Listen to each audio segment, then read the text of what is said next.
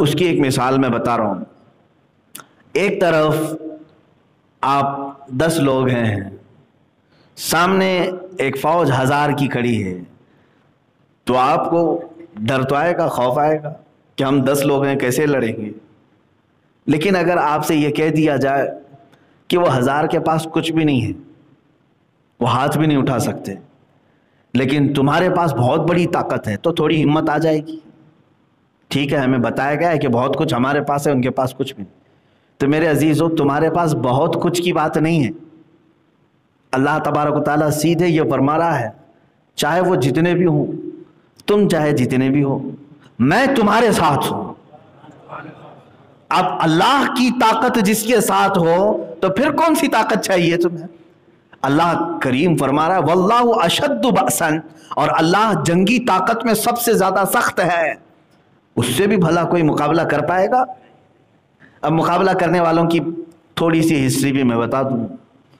जिन्होंने अल्लाह से भी मुकाबला करने की कोशिशें की हैं, और आज जो पूरी दुनिया में अथल पथल चल रहा है, ये भी इसी का एक हिस्सा है। खुदा से लड़ने की तैयारियाँ चल रही आपको मालूम नहीं? यहूदी पूरी दुनिया में ये क्यों हलचल मचाए हुए हैं? क्या इनका मकसद क्या क्या हासिल क्या करना चाहते हैं? मियाँ, इनके पास तो सब आ गया अभी। पेट्रोल, मिसाइल आ गए, सारे न्यूक्लियर हथियार आ गए, सब कुछ तो है इनके पास। तकरीबन दुनिया की जितनी मल्टीनेशनल कंपनियाँ हैं, सबके ये मालिक हैं। गोल्ड के ये मालिक हैं करेंसी के ये मालिक हैं। दुनिया में आज जो बड़े बड़े इदारे हैं, चाहे वो यूएनए की शक्ल में हो, उस पर इनकी इजारादारी है। वर्ल्ड बैंक उस पर इनका कब्जा है। वर्ल्ड हेल्थ ऑर्गेनाइजेशन जिसको आज कोरोना में बहुत ज़्यादा पेश पेश देखा गया है। उस पर उनका कब्जा है। तकरीबन तो दुनिया के बड़ी बड़ी जो इंडस्ट्रीज़ हैं या कंपनियाँ हैं या फिर इदारे हैं, ये सब के सब इनके अंडर में। अब और क्या चाहिए इन्हें? और क्या चाहिए? यहाँ मुसलमान को एक घर मिल जाए तो सुकून से बैठ जाता, खत्म हो गया। और आगे तो चाहिए ही नहीं। वहाँ पूरी दुनिया तकरीबन उन्होंने डील कर ली। और हदीस पाक में भी मिलता है, अल्लाह के नबी सल्लल्लाहु अलैहि वसल्लम ने फरमाया था तुम देखना क़यामत उस वक्त तक नहीं आएगी जब तक पूरी दुनिया में हरमैन तयबैन को छोड़कर मक्का और मदीने को छोड़कर तकरीबन पूरी दुनिया में यहूदी और ईसाइयों की हुकूमत कायम हो जाएगी। बिल वास्ता या बिला वास्ता डायरेक्ट या इनडायरेक्ट और उसके बाद फिर जवाल भी आएगा। और यह भी हदीस है तुम देखोगे कि पूरी दुनिया में हर मुल्क पर इस्लाम ही का परचम लहराएगा। ये भी हदीस है पाक में है ये भी है। तो अब मैं आपको ये बता रहा हूँ कि अल्लाह से जंग करने की, जिन लोगों ने प्लानिंग की थी, वो आज की तारीख नहीं, बहुत पुरानी तारीख है। नमरूद का नाम सुना होगा आपने। मुकद्दस किताबों में, जो इनकी मुकद्दस किताबें हैं, उसमें मिलता है एक वाक़ कि नमरूद नमरूद सिर्फ़ एक नहीं है, बहुत सारे नमरूद आए। नमरूद असल में नाम नहीं होता, बल्कि इराक का जो भी बादशाह होता था, उसे नमरूद कहा जाता था। ये एक इस्तेला है डेफिनेशन याद रख लें आप। कैसर और किसरा भी नाम सुनते रहते हैं आप। मैंने इसको कई मरतबा बताया, ये नाम नहीं है ये ये लकब है। जो मुल्क रोम का बादशाह होता है, उसको कैसर कहते हैं।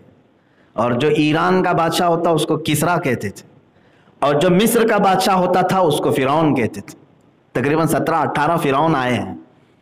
फ़िरौन कई हैं। इसी तरह नमरूद भी बहुत सारे आए एक नमरूद का वाक़ पुरानी किताबों में ये मिलता है कि उसने बहुत ताकत हासिल की थी। उसकी ताकत का हाल ये था कि वो एक हज़ार लोगों से तनहा लड़ सकता था और जंगली जानवरों से तक मुकाबला करता था। शेर, हाथी वगैरह से भी इतनी ताकत उसके पास और कभी बीमार भी नहीं हुआ था। तो लोगों में उसका चर्चा ऐसा था कि ऐसा लगता है कि ये पूरे इंसानों में एक अलग किस्म का इंसान है। ये इंसान नहीं, ये भगवान है। जैसे लोग आज सोच लेते हैं, थोड़ी सी शक्ति ज़्यादा हो जाए तो भगवान हो गया थोड़ा सा अगर पावर ज़्यादा हो गया तो भगवान हो गया। जैसे आप हमारा पीएम भी करीब करीब पहुँचने के भगवान के। तो ये नमरूद को भी इन लोगों ने इसी तरह से बना लिया था, तकरीबन। अब जिसको चेले इस तरह से बनाते हैं, वो खुद बन भी जाता है। वो सोचने भी लगता है हाँ मैं तो हूँ, लोग तो मुझे बोल रहे हैं। तो नमरूद ने यह सोचा कि मैं खुदा हूँ और लोगों को सजदा करने का हुक्म दिया। सारे लोग अक्सर उसकी इबादत में लग गए। जो उसकी इबादत नहीं करता, उसे कत्ल कर देता, मार डालता या जेलों में बंद कर देता। बड़ा जुल्म किया उसने। अब उसके वजीरों ने, ये यहूदियों की तारीख में बता रहा हूँ, ये ऑलरेडी एक बार हो चुका, अब उसको दोबारा रिपीट किया जाने वाला है। अब ये जो दुनिया में हलचल चल रही है, आपको लिंक में दे रहा हूँ। क्यों ये सब हो रहा है? आपके जहन में डायरेक्ट बात आ जाएगी। क्या करना चाहते हैं? आज ये इतनी तरक्यात क्यों करना चाहते हैं? सुनिए नमरूद से उसके खास वजीरों ने कहा, बादशाह सलामत।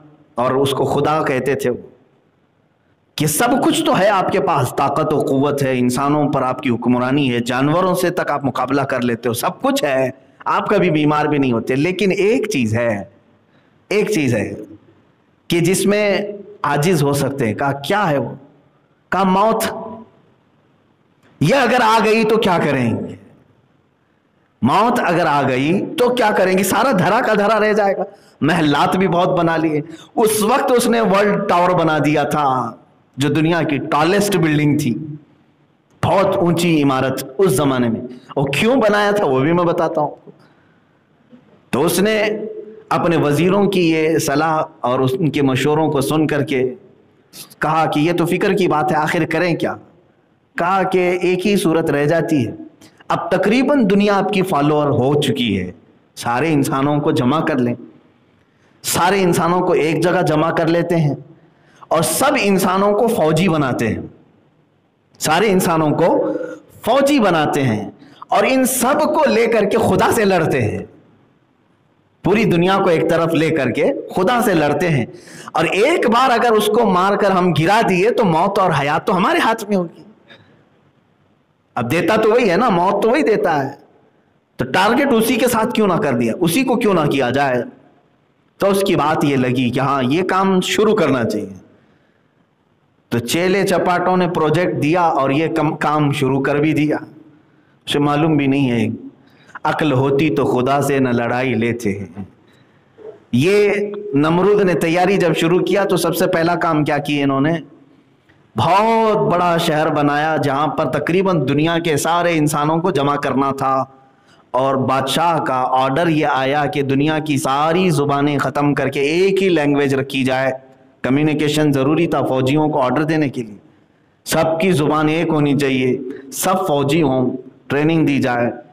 अब फिर मसला आया कि वो मिलेगा कहाँ खुदा? जहाँ से उस जंग करना है ना? लड़ाई करना है। अब उसके फरिश्ते भी हैं, उसकी ताकत व क़ुत भी है, कैसे उसके साथ लड़ाई की जाए? मेरे अजीज़ों, ये अजीब सी मज़े की बात है कि दुनिया ने ये तक सोच लिया अपने ही पैदा करने वाले के साथ लड़ाई के लिए। इसके बाद वजीरों ने कहा कि, सुना, आसमानों पर रहता है। बड़ी इमारत क्यों ना बना ली जाए जो आसमान तक पहुँचती हो? तो उस काम के लिए ये टॉलेस्ट बिल्डिंग बनी। देखते हैं जितनी लंबी बन जाए। बनाई और बनाता रहा। फौज भी जमा हो गई लैंग्वेज सबकी एक हो गई, ज़ुबान सबकी एक करेंसी भी सबकी एक एक ही सिक्का चलेगा, बाकी किसी की नहीं। हुकूमत सिर्फ़ एक ही, नमरूद की थी। अब इसके बाद उसे उस बिल्डिंग में चढ़ना था। चढ़ करके ऊपर से देखना था कि खुदा मिलता है कि नहीं मिलता। नहीं मिले तो और बिल्डिंग को बढ़ाएँगे, जहाँ वो मिल जाए, लड़ाई करेंगे। माजल्ला कभी कभार मैं ये बयान करता हूँ तो हैरत भी होती है।